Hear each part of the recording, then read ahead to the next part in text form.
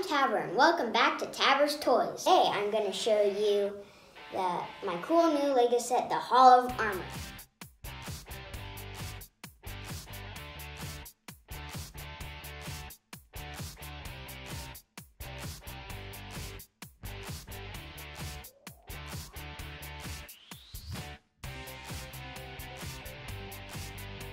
Over here, you can see there's a control panel, and over here, there's some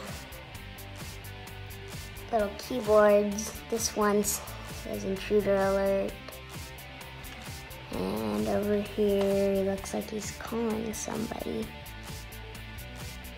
And then, and then you can pull this off. And you can see there's Tony getting his armor put on. So take his hair off and put his helmet off, but we'll get to the minifigures later. You go, here, let's put Tony back on here. And you can spin it around and these arms can move. Oh, put him down. And you can pull this off. And over here, you can see there's all the places you can put the armor. So if you turn this around, you can see there's some clear back stickers, like over here. It says Mark XXV, Mark V, and House Party Protocols, Suits Standby, and and if you turn it back around, you can see over here, this is a place to put Tony's hair, you're not using it. And over here, you got a wrench. And over here, you got a jetpack. And then over here, you have some weapons, a blade and a blaster and a mixer and a cup. And if you look at the top, you can see there's a satellite and it can move in that direction. You can also take it off.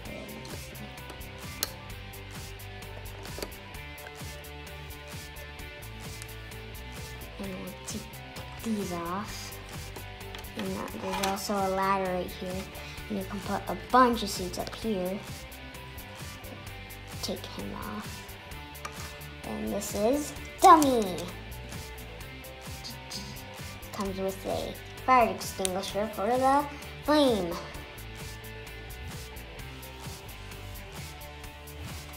And you can see there's this guy. I don't know what his name is, so leave it in the comments below if you know.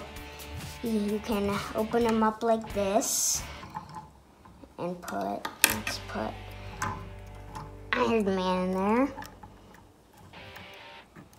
And then close it up and close these up. They don't close all the way. And then put this down. That's what it look like with Tony Stark in there, and you can move his fist in any way. Like, uh, let's see. Put one finger. You could do two fingers. And then you can make them like that. And then you could also put him here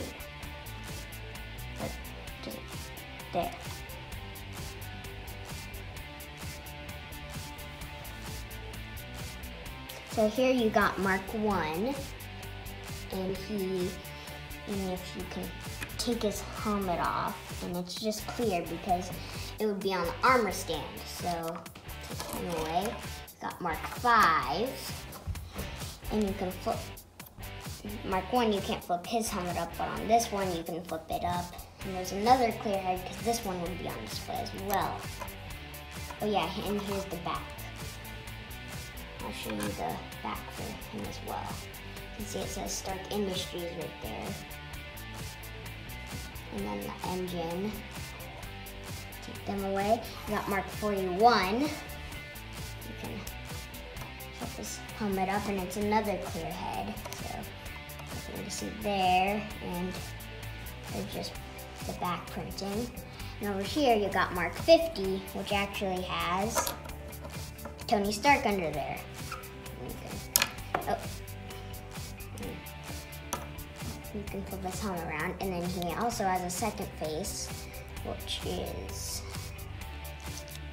a computer screen voice. I mean, a computer screen. What you'd see through, through the mask.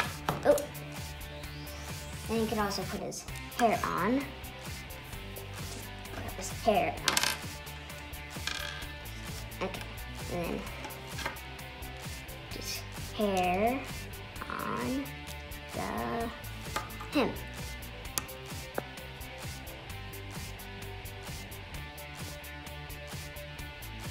Here's the Outrider, and it comes with two of them, and I'll take off his pack, backpack thing, his arms. That's his back printing. Just, and that's the back of his head. And that's his backpack, and it comes with two of these guys. So you can have two guys attacking.